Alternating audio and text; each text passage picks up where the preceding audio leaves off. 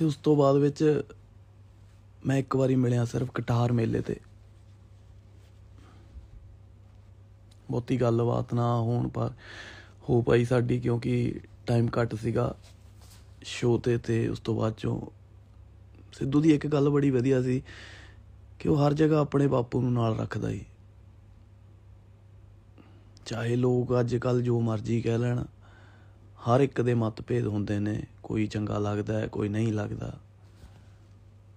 ਪਰ ਉਹਨੂੰ ਆਪਣੇ ਪਿਓ ਨੂੰ ਹਮੇਸ਼ਾ ਪਹਿਲ ਦਿੱਤੀ ਆ, ਸੋ ਮੇਰਾ ਵੀ ਆਪਣੇ ਬਾਪੂ ਨਾਲ ਬਹੁਤ ਪਿਆਰ ਆ। ਛੋਟੀਆਂ ਮੋਟੀਆਂ ਗੱਲਾਂ ਹੋ ਜਾਂਦੀਆਂ ਨੇ। ਗਾਣਿਆਂ 'ਚ ਇੱਕ ਦੂਸਰੇ ਨੂੰ ਬੋਲਣਾ। ਪੰਜਾਬੀ 뮤직 ਇੰਡਸਟਰੀ 'ਚ ਆਮ ਗੱਲ ਹੈ। ਇਹ ਸਾਰੀਆਂ ਚੀਜ਼ਾਂ ਅਸੀਂ ਬਾਹਰੋਂ ਲੈ ਕੇ ਆਏ ਆ ਖੁਦ ਜਦੋਂ ਤੁਸੀਂ 뮤직 ਬਾਹਰੋਂ ਦੇਖ ਕੇ ਕ੍ਰੀਏਟ ਕਰਦੇ ਹੋ ਬਾਹਰਲਾ 뮤직 ਲੈ ਕੇ ਆਉਂਦੇ ਹੋ ਬਾਹਰਲੇ ਗਾਣੇ ਸੁਣਦੇ ਹੋ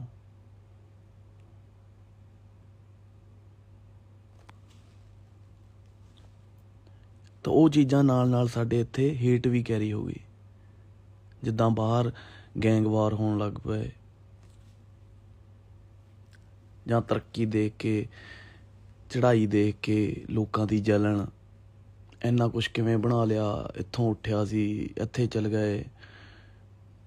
ਐਡਾ ਮਹਿਲ ਕਿੱਦਾਂ ਖੜਾ ਕਰ ਲਿਆ, ਇੰਨੇ ਪੈਸੇ ਕਿੱਥੋਂ ਆ ਗਏ?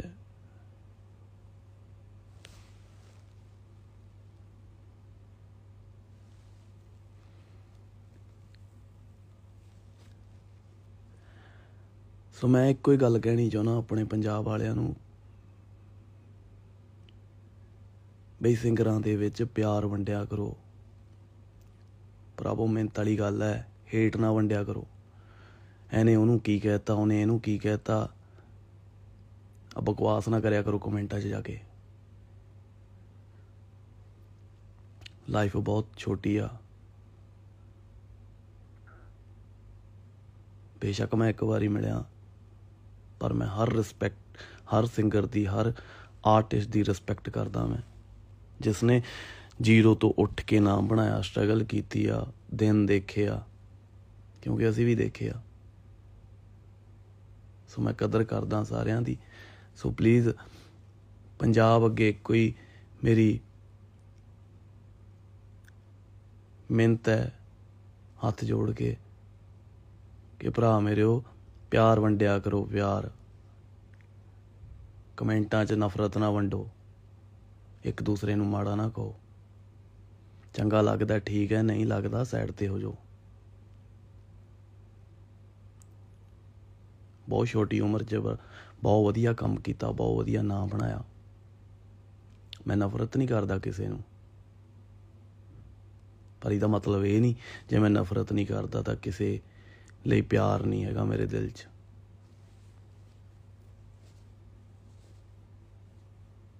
ਪਿਆਰ ਵੀ ਕਰਦਾ ਤੇ ਰਿਸਪੈਕਟ ਵੀ ਕਰਦਾ। ਬਹੁਤ ਦੁੱਖ ਵਾਲੀ ਗੱਲ ਹੈ, ਸਾਰੇ ਪੰਜਾਬ ਨੂੰ ਬਹੁਤ ਘਾਟਾ ਪਿਆ।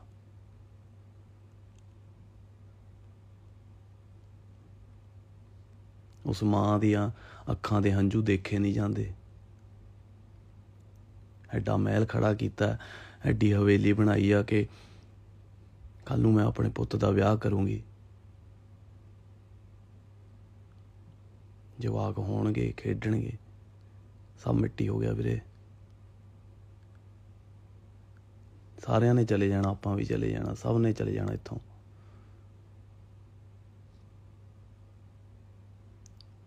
ਪਰ ਜਿਹੜਾ ਬੰਦਾ ਭੋਗ ਕੇ ਜਾਂਦਾ ਉਹਦਾ ਦੁੱਖ ਨਹੀਂ ਹੁੰਦਾ। ਵਾਹਿਗੁਰੂ ਪਰਿਵਾਰ ਨੂੰ ਪਾਣਾ ਮੰਨਣ ਦਾ ਬਲ ਬਖਸ਼ੇ।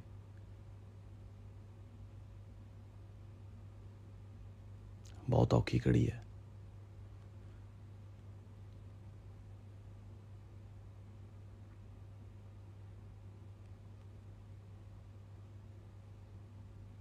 ਬਹੁਤ ਕੁਝ ਹੁੰਦਾ ਆ ਸਾਡੇ ਕਲਾਕਾਰਾਂ ਦੀ ਲਾਈਫ ਦੇ ਵਿੱਚ, ਸਿੰਗਰਾਂ ਦੀ ਲਾਈਫ ਦੇ ਵਿੱਚ। ਬਹੁਤ ਫੋਨ ਆਉਂਦੇ ਨੇ, ਬਹੁਤ ਪਿਆਰ ਕਰਨ ਵਾਲੇ ਕਰਦੇ ਨੇ, ਜਿਨ੍ਹਾਂ ਨੇ, ਜਿਹੜੇ ਨਫ਼ਰਤ ਕਰਦੇ ਨੇ, ਗੁੱਸਾ ਕਰਦੇ ਨੇ, ਉਹ ਵੀ ਕਰਦੇ ਨੇ। ਪਰ ਪਿਆਰ ਵੰਡਿਆ ਕਰੋ ਵੀਰੇ। ਅਸੀਂ ਵੀ ਇਨਸਾਨ ਹੀ ਆ ਅਸੀਂ ਕੋਈ ਰੱਬ ਨਹੀਂ ਹੈਗੇ। ਤੁਹਾਡੇ ਵਰਗੇ ਹੀ ਹਾਂ ਅਸੀਂ ਵੀ।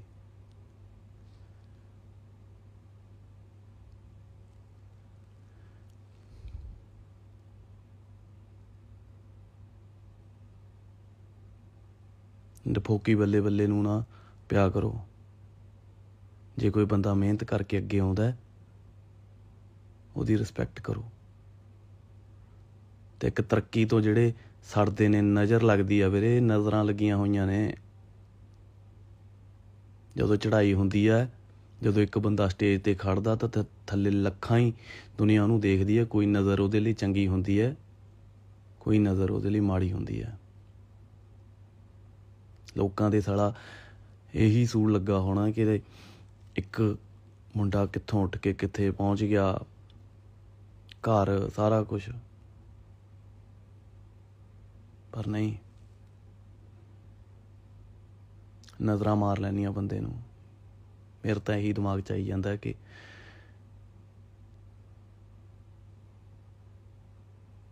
ਜਰਿਆ ਨਹੀਂ ਗਿਆ ਲੋਕਾਂ ਤੋਂ।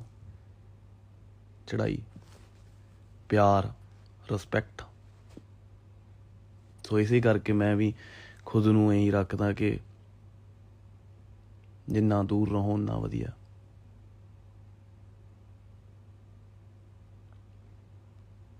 ਠੀਕ ਹੈ, ਕੰਮ ਕਰਦੇ ਆ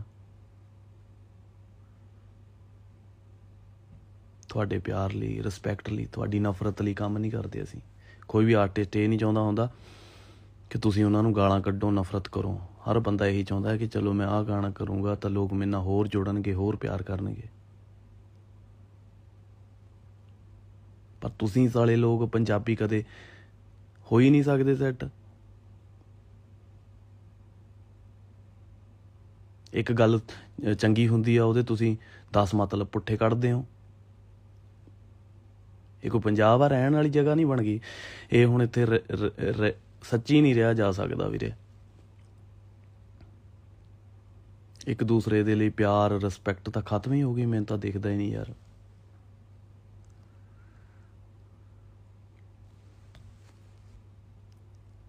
ਕੱਲ ਦਾ ਜਦੋਂ ਦਾ ਪਤਾ ਲੱਗਾ, ਭਾਜੀ ਨੂੰ ਫੋਨ ਕੀਤਾ ਮੈਂ ਮੈਂ ਕਿ ਵੀ ਰਿੰਕੂ ਵੀਰੇ ਸ਼ੋਅ ਕੈਨਸਲ ਕਰੋ। ਸ਼ਾਪਿੰਗ ਮਾਲ ਸੀਗਾ, ਮੈਂ ਇੱਥੇ ਸ਼ੋਅ ਸੀ ਜਿੱਥੇ ਉੱਥੇ ਸਿਰਫ ਕਿ ਸ਼ੋਅ ਲਈ ਕੱਪੜੇ ਲੈਣ ਗਿਆ ਸੀ, ਪਰ ਜਦੋਂ ਹੀ ਪਤਾ ਲੱਗਾ ਪੈਰਾਂ ਥੱਲੇੋਂ ਜ਼ਮੀਨ ਨਿਕਲ ਗਈ।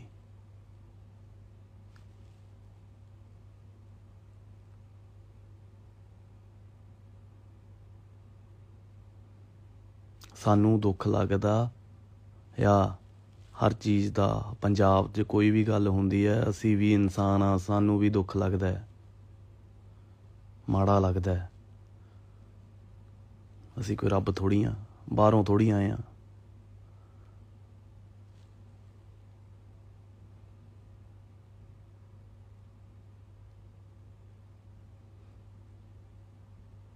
ਕਲਯੁਗ ਤਾਂ ਵੀਰੇ ਕਦੋਂ ਦਾ ਹੀ ਆ? ਕਿਸੇ ਨੇ ਕਮੈਂਟ ਕੀਤਾ ਕਿ ਕਲਯੁਗ ਆ ਵੀਰੇ?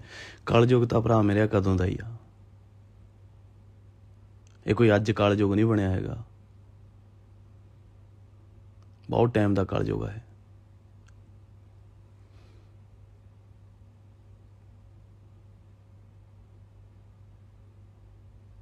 ਦੀਪ ਸਿੱਧੂ ਸਿੱਧੂ ਮੂਸੇਵਾਲਾ। ਯਾਰ ਇੱਕ ਟਾਈਮ ਤੇ ਐਂ ਲੱਗਦਾ ਕਿ ਸਾਲਾ ਝੂਠ ਹੈ।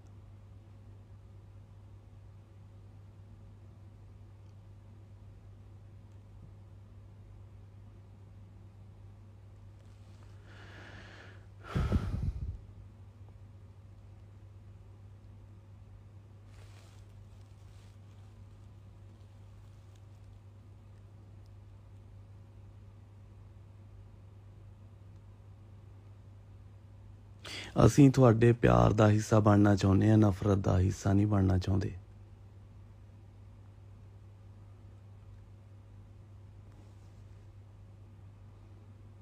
ਸਿੱਧੂ ਨੇ ਨਾਂ ਬਣਾਇਆ, ਆਪਣੇ ਮਾਪਿਓ ਦਾ ਨਾਮ ਉੱਚਾ ਕੀਤਾ, ਹਰ ਸਟੇਜ ਤੇ ਜਿੱਥੇ ਜਾਂਦਾ ਸੀ, ਆਪਣੇ ਬਾਪੂ ਨੂੰ ਨਾਲ ਰੱਖਦਾ ਸੀ।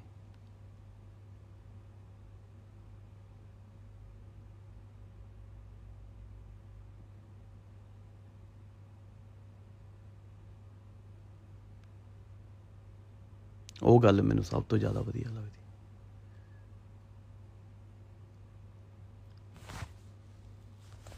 ਮੈਂ ਕੋਈ ਕਿਸੇ ਦੇ ਹੱਕ 'ਚ ਨਹੀਂ ਹੈਗਾ, ਮੈਂ ਕਿਸੇ ਦੇ ਅਗੇਂਸਟ ਨਹੀਂ ਹੈਗਾ।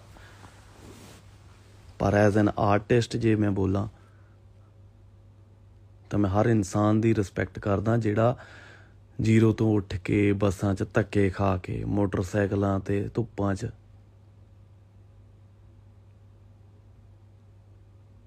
ਤੇ ਮੈਂ ਆਪਣੇ ਆਪ ਨੂੰ ਰੱਖਿਆ ਵੀ ਉੱਥੇ ਹੀ ਹੈ। ਜਿੱਥੋਂ ਮੈਂ ਸਟਾਰਟ ਕੀਤਾ ਸੀ। ਮੈਨੂੰ ਪਤਾ ਹੈ ਉਹ ਜਗ੍ਹਾ, ਉਹ ਟਾਈਮ ਬਸ ਸੋਚਣੀ ਬਦਲ ਗਈ ਹੈ ਹੁਣ ਕਿਸੇ ਨੂੰ ਲੈ ਕੇ। ਹੁਣ ਜਦੋਂ ਅਸੀਂ ਕਿਸੇ ਨੂੰ ਮਿਲਦੇ ਆਂ ਫੋਟੋ ਕਰਾਉਨੇ ਆ ਤਾਂ ਪਹਿਲਾਂ ਅਗਲੇ ਦੇ ਹੱਥਾਂ ਵੱਲ ਦੇਖੀਦਾ ਹੈ, ਅੱਖਾਂ ਵੱਲ ਦੇਖੀਦਾ ਹੈ ਕਿ ਇਹਦੇ ਦਿਲ 'ਚ ਕੀ ਹੋਊਗਾ। ਹੁਣ ਤਾਂ ਰਾਹ ਜਾਂਦੇ ਗੱਡੀ ਰੋਕਣ ਤੋਂ ਵੀ ਡਰ ਲੱਗਦਾ ਵੀਰੇ। ਤੁਸੀਂ ਲੋਕ ਸਾਨੂੰ ਕਹਿ ਦਿੰਦੇ ਹੋ ਕਿ ਐਟੀਟਿਊਡ ਆ ਬਈ ਸਿੰਗਰ ਨੇ। ਗੱਡੀ ਨਹੀਂ ਰੋਕੀ ਬਈ ਬਹੁਤ ਆਪਣੇ ਆਪ ਨੂੰ ਖਰਾ ਸਮਝਦਾ ਹੈ। ਅਸੀਂ ਬਣਾਇਆ ਇਹਨੂੰ, ਅਸੀਂ ਕੀਤਾ ਸਭ ਕੁਝ ਫਿਰ ਡਰ ਵੀ ਤਾਂ ਹੁਣ ਤੁਹਾਡੇ ਤੋਂ ਹੀ ਲੱਗਦਾ। ਪੰਜਾਬੀ ਆਰਟਿਸਟ ਡਰ ਵੀ ਤਾਂ ਆਮ ਲੋਕਾਂ ਤੋਂ ਹੀ ਰਹੇ ਨੇ। ਕਿ ਆਮ ਲੋਕਾਂ ਚੋਂ ਪਤਾ ਨਹੀਂ ਕਿਹਨੇ ਨਿਕਲ ਕੇ ਕੀ ਕਰ ਦੇਣਾ।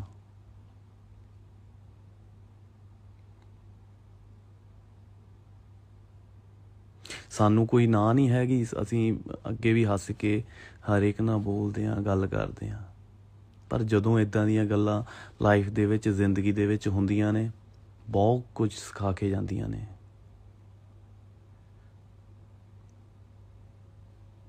ਪਿਆਰ ਵੰਡਿਆ ਕਰੋ। ਆਪਣੇ ਘਰਦਿਆਂ ਦੀ ਰਿਸਪੈਕਟ ਕਰਿਆ ਕਰੋ।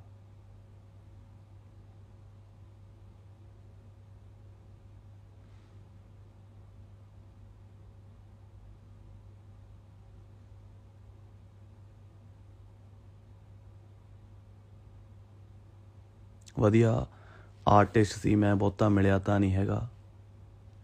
ਪਰ ਵਧੀਆ ਲਿਰਿਕਸਿਸਟ ਸੀ, ਵਧੀਆ ਆਰਟਿਸਟ ਸੀ। ਹਾਰਡ ਵਰਕਰ ਸੀ। ਜਿਨ੍ਹਾਂ ਕਰਕੇ ਮੈਂ ਅੱਜ ਲਾਈਵ ਹੋਇਆ।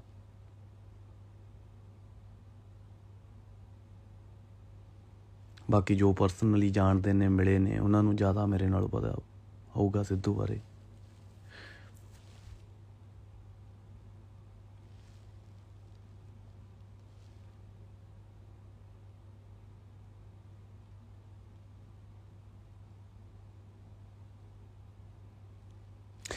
ਇਨਸਾਨੀਅਤ ਅਸੀਂ ਆਪਣੇ ਆਪ ਚੋਂ ਆਪ ਹੀ ਮਾਰ ਲਈ ਵੀਰੇ।